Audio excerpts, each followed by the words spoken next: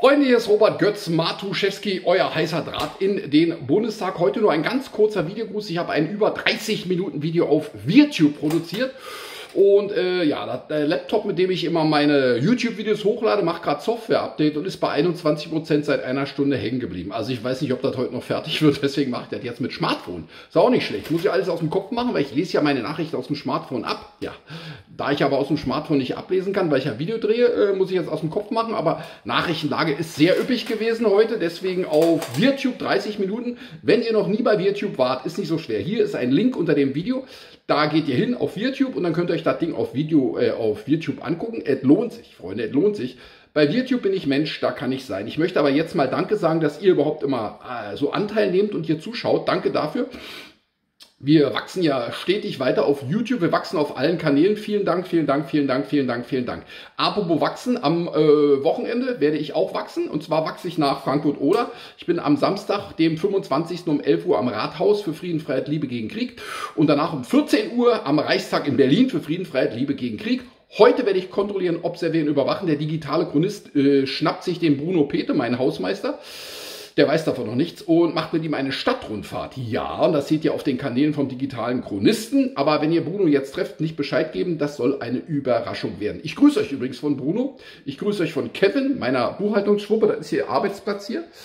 Und ich grüße euch von äh, natürlich von Jerome Schmidt mit meinem Schwager und meiner lieben Frau Martina. Und jetzt geht's los. Eine SPD-Politikerin hat einen Bauauftrag, äh, ein, äh, ein Bauprojekt unterzeichnet, hat gesagt, das bauen wir. Und dann hat sich überlegt, ach, Ausschreibung, Ausschreibung, das sind so Worte. Wir ziehen das Ding einfach mal familiär durch und hat den Auftrag direkt an ihren Ehemann weitergeleitet. Ja, eine Hand wäscht die andere, der baut das jetzt.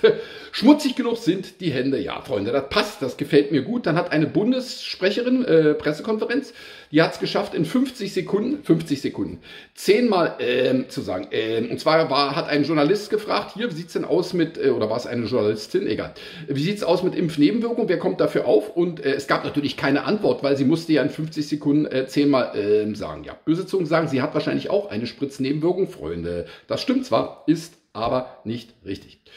In Berlin hat der Tagesspiegel unlängst berichtet, und darüber habe ich berichtet, dass immer mehr Menschen Angst haben, nachts äh, vor die Tür zu gehen. Nein, es wurde gesagt, Personen nicht männlich, also nicht männliche Personen. Also in Berlin haben nicht männliche Personen nachts Angst, auf die Straße zu gehen. Dabei wurde Berlin in letzter Zeit immer sicherer. Ja, der Redakteur vom Tagesspiegel, ja, äh, der meinte wahrscheinlich in letzter Zeit die letzten fünf Minuten, wo er gerade einen Kaffee getrunken hat.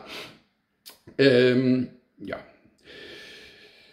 Leider äh, hatten wir eine Vierjährige, die in Berlin niedergestochen und umgebracht wurde.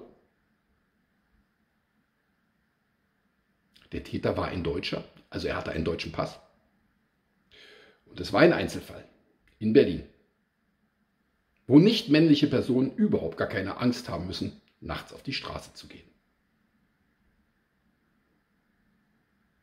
Böse Zungen sagen, was? Wie viel? Wie oft? In welcher Menge? Muss eigentlich noch passieren? Bis die breite Masse aus ihrer Hypnose erwacht und erkennt, auch wenn es mich persönlich jetzt gerade im Moment nicht betrifft, könnte es mich morgen betreffen. Und selbst wenn es mich nie betrifft, betrifft es mich, weil es meine Mitmenschen sind, die hier niedergemetzelt werden. Freunde, böse Zungen sind nicht meine Worte.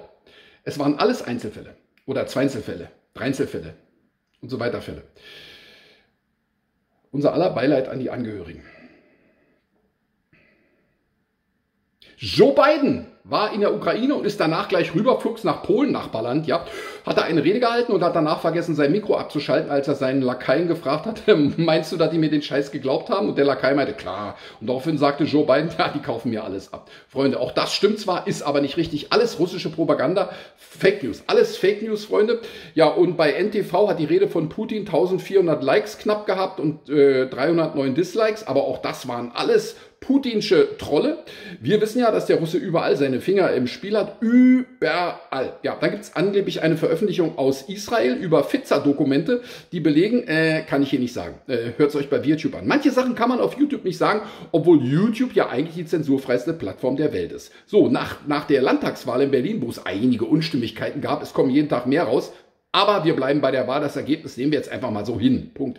Nach der Landtagswahl direkt am nächsten Tag standen plötzlich flächendeckend überall Plakate, professionell gemacht. Ja, wir müssen der Politik Grenzen setzen. Ja, hier, hier Ziele geben, Ziele geben. Wir müssen ihr Ziele geben. Freunde stimmt mit Ja für ein CO2-neutrales Berlin 2030, also in gut sechs Jahren. Und da sollen wir alle hingehen und mit Ja stimmen.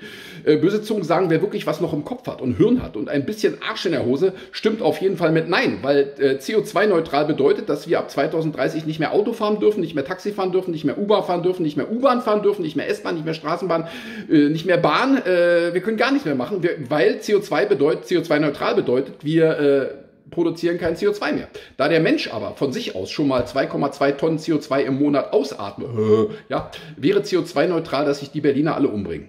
Äh, und das geht ja nicht, ja. So. Und wir wollen ja auch ein bisschen heizen und ein bisschen warm Wasser zum Duschen und vielleicht auch ganz gelegentlich ab und zu mal möglicherweise was essen, was warmes, ja. Und da das alles nicht funktioniert, können wir nicht CO2-neutral sein. Und da das Ganze sowieso von Non-Government Organization finanziert wurde, die der Politik sagen, was sie zu tun und zu lassen haben, wissen wir, dass dahinter ganz andere Leute stecken und deshalb stimmen wir alle mit Nein. Aber das sind böse Zungen. Wir stimmen mit Ja. CO2 ist schlecht und wir sind gegen CO2. Ein äh, Professor, äh, ich glaube 37 Jahre alt, den Namen habe ich dann auch verkündet auf YouTube, hat gesagt, die Alten sind nutzlos und die müssen wir alle umbringen. Nein, äh, hat er nicht gesagt. Er hat gesagt, äh, wir haben hier eine Kapsel, da kann man sich reinlegen und dann schläft man ein und wacht nicht mehr auf. Und das wäre gut, weil die Alten sind sowieso, also ich meine, die Alten, die kosten doch nur Geld. Ich sage nur Rente, ja, also, ja, und die ganzen Krankheitskosten brauchen wir nicht so. Ja, einer vom äh, World Economy Forum. Guter Mann, ja. Äh, Freunde, das stimmt zwar alles, ist aber nicht richtig. So, dann hat der Herr Brandner, der wurde im Bundestag angeflaumt von den Grünen äh, und die, man hat gesagt, lassen Sie doch mal eine Frau zu Wort kommen. Und daraufhin sagte er, ich fühle mich heute als Frau. So, ich möchte mal ganz herzlichen Dank sagen an Irene Seidel. Ich möchte mich bei dir bedanken. Und Frank Herbert, danke von Herzen. Und Ulrike Krüger, ich möchte dir danken. Und ich möchte euch danken, dass ihr immer so treu guckt und schaut und dabei seid und Anteil nehmt. Ich grüße alle, ich grüße alle, äh, die immer schauen und gucken. Wie gesagt, heute nur ein kleines Video, weil ich habe nicht alles im Kopf. Es sind so viele Nachrichten, ich kann mir das alles gar nicht merken. Gut, alles gute Nachrichten. Es sind alles gute Nachrichten, hervorragende Nachrichten. Wirklich wahr. Äh, schaut euch die gesamte Nachrichtensendung auf YouTube an. Danke, dass ihr diesmal dabei wart, auch wenn es nur ganz kurz und klein war. Äh, aber ich denke, äh, so viele gute Nachrichten kann man auf einmal gar nicht verdauen. Ja, so. Also bitte, ja. Solltet ihr gerade nicht gut drauf sein oder krank sein, wir möchten das nicht. Unsere große Gemeinde schickt euch jetzt gute Energie, werdet schnell wieder gesund. Das gleiche gilt übrigens auch für eure lieben kleinen süßen Haustierchen. Gute Besserung an alle. Wir halten nämlich zusammen und wir bleiben standhaft, optimistisch und immer voller Tatkraft. Und Freunde, es wird alles gut, es ist alles gut. Wir müssen da bloß noch hin. Und das, das kriegen wir gemeinsam hin. Gemeinsam. Aber wie gesagt, dafür ist Zusammenhalt angesagt. The Shadowman now leaves the video. Oh, das Ding hier, das Bild hat ja gestern für Furore gesorgt, ja. Einer schrieb, ja, der Mund und das Kinn, das sieht irgendwie komisch aus. Ja, gut, okay. Ja, da habe ich halt ein komisches Gesicht gezogen, äh, als ich äh, Modell gestanden habe für das Gemälde. Nein, ich habe nicht Modell gestanden. Ich, ich war gar nicht dabei. Ich wurde selber überrascht. Schön. Überrascht mich heute mit schönen Kommentaren, mit einem kleinen Daumen hoch. Danke dafür. Obwohl Daumen hoch ist eigentlich äh, Vorherrschaft der weißen Rasse. Ist ja ein neues Symbol. Ja, wer so macht, ist Rassist. Ja, ja, ja. Aber ich sag's immer wieder dazu. Nicht umsonst ist bei YouTube der Daumen schwarz wupp, und dann ist das wieder ausgeglichen. Es kann so einfach sein, Freunde. Ja. Aber mit, mit der SPD-Politikerin ist schön. Ja, hier, wir bauen hier. Ja.